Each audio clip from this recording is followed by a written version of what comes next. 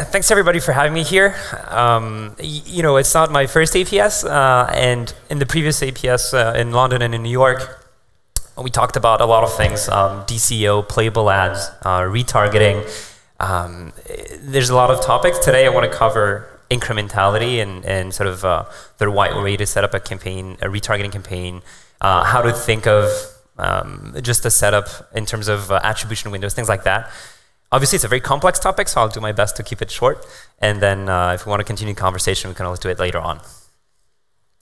So uh, today, mainly three things. Um, you know, just a basic um, recap of what is retargeting. Um, I know a lot of people here in the room are already running retargeting campaigns. Um, you know, a lot of you also have heard of retargeting, but are not actively running retargeting campaigns. So um, I really want to just briefly recap on what is retargeting, um, and then talk about incrementality uh, or A-B test or uplift. There, there's a few ways to call this. Uh, and then just uh, talk about the most common bad retargeting setup that I've seen uh, across many different clients. And uh, we can dive right in. If the clicker is with me, of course, today. There you go. so um, quick recap, what is retargeting? essentially, um, you know, you have an app called your app to be very original. You uh, want to, um, you have a lot of existing users and you want to make sure that those existing users, the ones that installed your app, you want to make sure that they spend time and money in the app. So you want them to basically make sure that they open your app regularly, that they spend money in it, and they become recurrent users, recurrent purchasers. Um, uh, one way to do this is uh, through a retargeting display campaign. You would display ads on other apps, and then those apps we deep link straight to your app. So if I'm a user and I search for, um, uh, you know, I want to buy a shoe, I go to your app. If you're a shopping app, I, uh, I look for a shoe, I don't buy it, and then I see an ad for your shoe on some other app that I'm using. I click on the ad, and it directs me, deep links me directly to your app. Um, automatically brings me to the right section, and I can just tap to buy the shoe. Um, so very sort of simple setup um, about you know retargeting campaigns. Uh, now, the issue with, uh, so the principle of retargeting is that you spend money, you spend your money to bring users, your existing users back to your app, and then you measure how much money they've spent. It could be money, it could be something else like time spent, but you measure the money that users spend in your app, and then you, you sort of compare those two. Um, and often so these are different ways to call it. You can call it return on investment. You can call it return on ad spend. They're not the same thing, but um, often the term at least is, uh, is the same. And so you would measure uh, your spend and see if you're doing a good job or not. If you're driving more revenue than you are driving spend, you're doing a good job. And that's the biggest sort of misconception. Um, it's actually not the case. Uh, especially, well, for retargeting, um, the way to calculate your return on investment on a retargeting campaign is definitely different than the way to calculate it on a UA campaign. So UA retargeting are completely different things because by definition, retargeting means re uh, displaying ads to users who already have your app. And so there's a there's a really big misconception, and we see a lot of uh, a lot of advertisers who who think they're doing a great job, and they they probably are for most of it. Uh, but in terms of the retargeting, they they're spending a lot of money. They think they're generating extra revenue, while in fact they're losing money, uh, quite literally. Uh, and that's the that's the danger of uh, of retargeting. So retargeting, return on ad spend, um, is basically doesn't mean a lot. Doesn't mean anything without measuring incrementality, without measuring uplift, um, or through an A/B test. So a very simple example. I don't want to go through like every single metric, but two uh, different setups. Uh, one on the right, I think this is a pointer. Uh, the one here, no retargeting. So you're not running any retargeting campaign. You just have your app. Uh, you have 100,000 users in your app. You're, you're spending $0 on retargeting. And those users, they spend 18K in your app. So nothing extra to say there. That's just the base setup. And then let's say you want to start a retargeting campaign. So you still have your same users, and you want to start, uh, you know, uh, spending spending money on uh, on your existing users. So you spend 10k on a retargeting campaign, and you, you measure attribution, um, and you see 18k in revenue, and if you ignore this for a sec, the left part, you just focus on your retargeting campaign, you see, okay, I spent 10K, it generated 18K in revenue, so my return on ad spend is, is 1.x. And actually a lot of you, a lot of people, a lot of clients, a lot of advertisers actually um, look at it this way, and and for obvious reasons, uh, you know, this metric is first of all it's wrong, and second of all, it's to measure your real ROI, and it's uh, not only is it wrong, it's dangerous. Because you think you're doing a good job, so you're scaling your spend. Instead of spending 10k, you're going to spend uh, 50k, and then you start seeing not great things and uh, and you, you sort of wasted a lot of time, a lot of money, and you don't really know why that happened. Um, so the, the trick is obviously to, to count only the purchases that were driven from the retargeting campaign and not the whole revenue. And the way to do this is incrementality. So incrementality shows you how users would have performed without the retargeting campaign while running a retargeting campaign. So incrementality shows you basically the difference uh, of your retargeting campaign and the, the, your existing users by themselves. Or to put it another way, it shows the extra, extra revenue driven thanks to the retargeting campaign. So there are many different ways to set up uh, incrementality and, and uplift and, and, sort of A-B test. Again, there are a few different ways, few different names. There are a, a few different uh, setups. We can't uh, go through all of them just because it's, uh, it's a, it would be a very long talk. But um, I would say the most common way to do this is to think of a control group and a target group. So control group is an, uh, half your, uh, like half or a certain percentage of your audience, ideally half, of your audience where you don't show any ads. Um, and again, there's a lot of different ways. There's PSA, holdout group. Like uh, I'm not going to talk about all of them, but in this case, in this setup, control group means no ads shown from your app, from your brand. Um, the target group is the use uh, is the group of users that you're allowed to show ads to. If you cut that in, in half and half, um, at the end of the campaign, you basically can measure the revenue driven by your users in the control group, so the one on the, the one on the left here, and you measure the revenue on the target group, and you can basically compare those two, and that gives you the uplift or the uplift in revenue, the incremental revenue that was driven thanks to the retargeting campaign. Uh, the, that value here is the real way to sort of calculate your ROI. That's the, that's the real and only way to, to figure out how much revenue did the retargeting campaign drive. Um, the, if I go back uh, here a quick sec, uh, we're talking about revenue here, but you can actually do this on signups. You know, how many users signed up on the control group, how many users signed up in the target group. You can um, look at tutorial completed. You can look at, uh, you know, uh, any sort of um, metric that you're tracking through your tracking partner, and you can uplift, you can measure the uplift on that KPI. And so th this is actually really important for a retargeting campaign. This is what actually tells you, all right, we're doing a good job, or you know, or we're just uh, wasting money.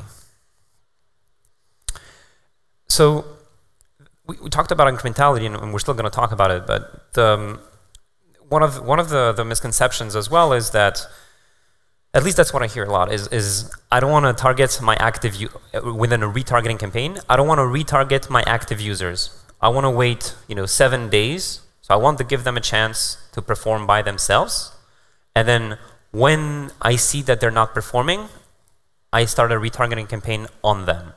Um, and that means waiting whatever one day or seven days or 30 days, maybe just to focus on lapsed users.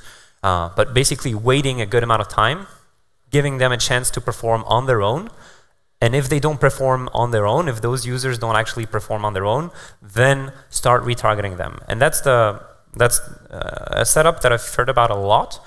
And um, and um, here's sort of an, an analogy that I use a lot in in sort of any uh, any meeting that I have is um, it's an analogy using a restaurant. So let's say instead of owning an app, you own a restaurant. And what you're saying is, if you have, we had a lot of fun making these animations, by the way, so I hope you're enjoying them. Um, you have somebody walking in front of your restaurant, and um, some, you know, some users will come in the restaurant, some users will walk away. Uh, on the top part, uh, so here, uh, you don't have, assuming you don't have any retargeting campaign in place. So users will walk in front of the restaurant and they will walk away from your restaurant. You don't have any retargeting in place, so they just walk away forever. Um, that's one user. Another user can walk in front of your restaurant, actually like what they see, and enter the restaurant, and they start spending money in your app. That's without retargeting. With a wrong setup in retargeting, at least one that I see often here on the bottom, here we have uh, somebody walking in front of your restaurant, and in case you don't see, this is one mile after the restaurant, and this is two miles or two kilometers after your restaurant. So here you you basically say, okay, let's give them a chance to perform by themselves. Let's give them a chance to enter the restaurant by themselves. And if they don't enter the, the restaurant, let's give them 30 days. So in this case, it's an analogy in kilometers. So let's give them one kilometer, one mile, before we start retargeting them. So let's give them um, a good amount of time to walk away from the restaurant, and then let's try to bring them back. So they're walking away from the restaurant, and then they see an ad for your restaurant. And I mean, I don't know if you walk a lot in Berlin, but I would never walk back one kilometer for a restaurant. And it's the same exact sort of uh, mentality for apps. In this case, I used, um, I used a, a restaurant example. That's the analogy that I like to use. Uh, a friend of mine actually uses another analogy. Um, it's uh, so basically, um, you think of your uh, marriage for those of you who are married, and uh, he basically says if uh, you're waiting for your wife to divorce before going to the gym, then it's too late. And here it's the exact same thing, right? If you're waiting for the user to leave forever, then it's too late. And, uh, and this is really one of the misconceptions um, of, of uh, retargeting. And so, in this case, the right way to set it up is to focus on that, that user. He walks in front of your restaurant, doesn't enter the restaurant, but you basically show him an ad right after. Um, so as soon as they leave your app, you show them an ad. And usually what clients say is, yes, but I don't want to show ads to users that are active because they're going to perform by themselves. And, and then the real question becomes, so how do you know which, which revenue was driven because of the retargeting campaign and which revenue was driven by the just organic flow? And the solution is incrementality, right? We talked about it earlier. So the way to, if you set it up this way, if you set up your retargeting campaign with re-engaging active users, then the only way to measure the real efficiency of the campaign is to measure incrementality. And so you're going to basically have two, two setups, one where you're not running retargeting, one where you are running retargeting. And, uh, and even if you're re-engaging active users, it's okay. You're not wasting money because you're measuring the incrementality. And, and my message here is really to focus on, uh, on comparing the two instead of waiting for them to leave and then measuring ROAS there or return on ad spend there. So in this case, they walk back to your restaurant, they spend money in, in your restaurant or in your app, and therefore you know, you're extremely happy and you can scale and everybody's happy. So um, uh, again, like there, there are um, three things I want to I want to sort of um, to talk before I leave. So the first thing, the control group, there are a few different ways to set it up. Uh, you know, control group and target group.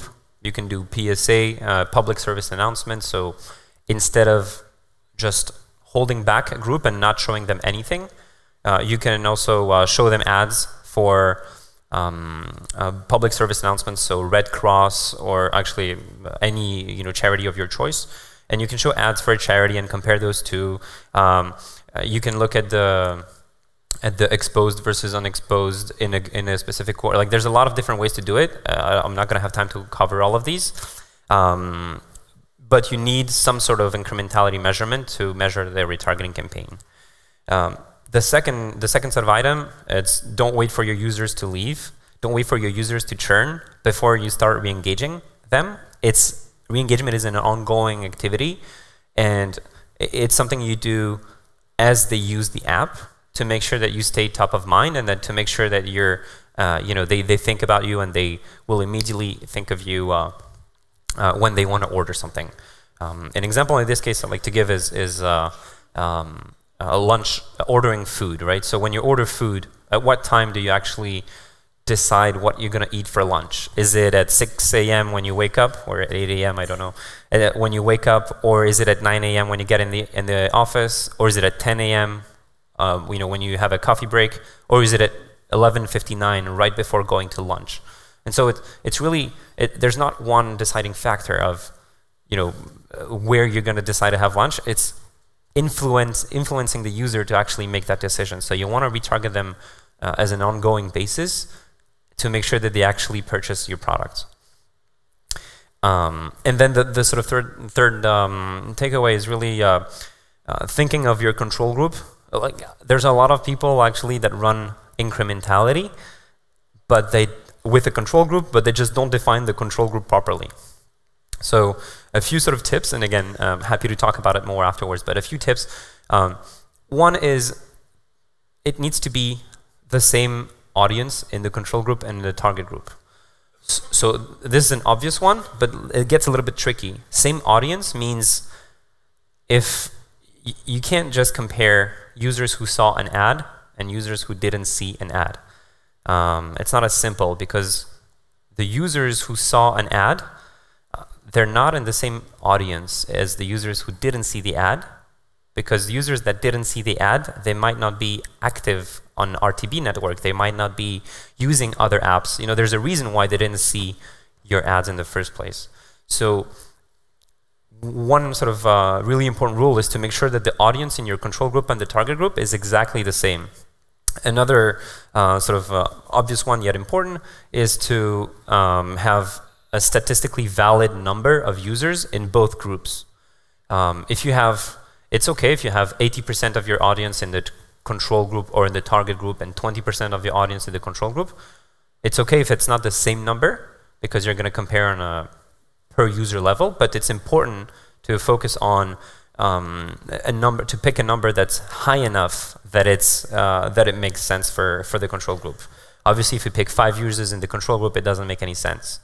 Um, another one you can think of is um, is uh, sort of a whale exempt, um, you know, for especially for gaming, but for other titles, uh, for other categories, um, you know, whales can offset your incrementality, so it's something to think about. Uh, it's not necessarily something that breaks your uplift measurement, but it's just things to think about when you're running a valid, like a control group for it to be valid. Um, so all of those things is what it takes to have a proper incrementality test, and therefore a proper retargeting campaign. I'm, I don't want to get overtime here, so I um, we're sitting we're sitting outside at Adikteev booth. Um, if there are any questions with uh, you know, as regards to incrementality, the control group, what's the attribution window, uh, what's the re-attribution window, um, you know, DCO, like any sort of item or topic you want to cover uh, on a like one-to-one -one basis. Happy to talk about this uh, on on the booth, and uh, I'll let I'll let the mic to James, and I hope you're enjoying your your APS today, and then I'll guess see you. I'll see you outside in a sec. Thanks, everybody.